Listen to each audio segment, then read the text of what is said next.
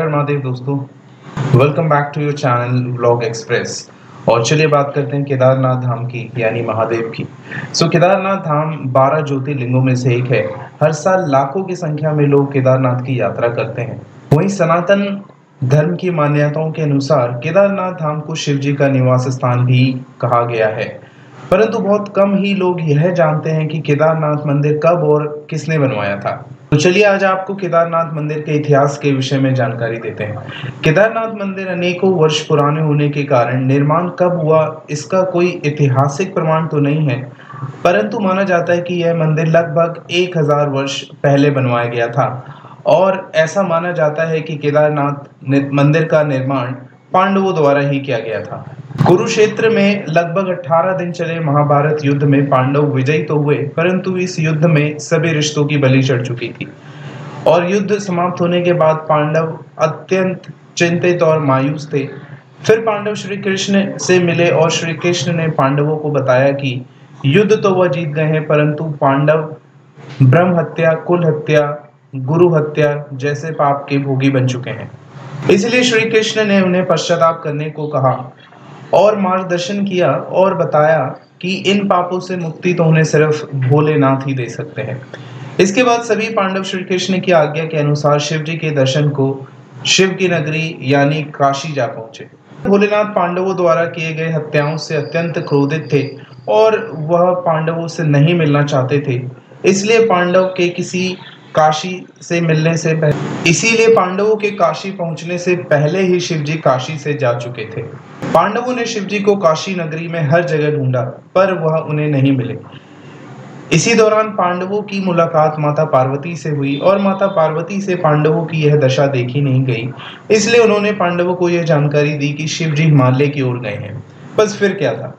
पांडव शिवजी के दर्शन हेतु हिमालय के पहाड़ों पर बसे अत्यंत सुंदर और प्राकृतिक स्थान उत्तराखंड जा पहुँचे।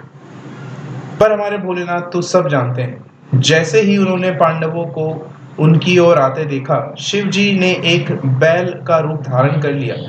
पांडवों ने उन्हें बहुत ढूंढा, पर शिव जी के दर्शन अब भी पांडवों को नहीं हुए थे। इसी दौरान पांडवों की दृष्टि उनके पास चरते हुए कुछ पशुओं पर पड़ी और उन्हें अंदेशा हुआ कि भोलेनाथ भी यहीं पर कहीं हो सकते हैं।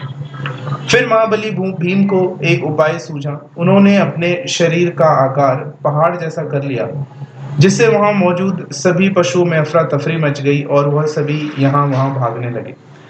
फिर महाबली भीम की दृष्टि एक बैल पर पड़ी जो बिल्कुल शांत और स्थिर खड़ा था। उस पर भीम के विशाल रूप का कोई असर नहीं हो रहा था। बस फिर क्या था? पांडवों को समझ आ चुका था कि यही शिवजी हैं जो एक बैल का रूप धारण किए हुए हैं। साथ ही भोलेनाथ भी यह समझ गए थे कि पांडव उन्हें पहचान चुके हैं। फिर उसी बैल रूपी अवतार में शिवजी धरती में समाने लगे।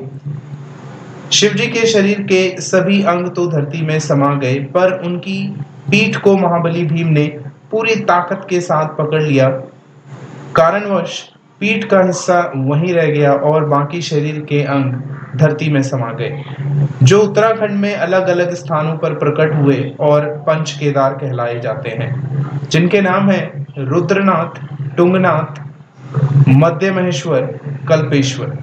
और उस बैल रूपी अवतार के पीठ को केदारनाथ मंदिर में पूजा जाता है। इन्हीं पाँचों स्थानों को पंच केदार भी कहा गया है। अब प्रश्न यह है कि केदारनाथ मंदिर का निर्माण किसने और कब करवाया? माना जाता है कि केदारनाथ मंदिर का निर्माण पांडवों ने ही करवाया था और फिर पांडवों की आने वाली पीढ़ी और कई राजाओं ने इस मंदिर निर्माण में अपना सहयोग दिया। फिर सैकड़ों वर्षों के बाद मंदिर की इमारत क्षतिग्रस्त हो चुकी थी। इसके बाद आदि गुरु शंकराचार्य जी ने केदारनाथ मंदिर का पुनः निर्माण करवाया था। साथ ही आदि गुरु शंकराचार्य जी ने अपने जीवन के अंतिम समय में मंदिर के पास शिव जी का ध्यान किया और फिर समाधि ले ली। तो दोस्तों, यह थी केदारनाथ मंदिर के निर्माण से जुड़ी कुछ रहस्यमय जानकारियाँ। इसी तरह की और वीडियोस में अगर आप इंटरेस्टेड हैं तो आप प्लीज़ हमारे चैनल को सब्सक्राइब कर सकते हैं। मैं आपसे इजाज़त लेता हूँ और मिलेंगे अगले वीडियो में। हर हर महादेव।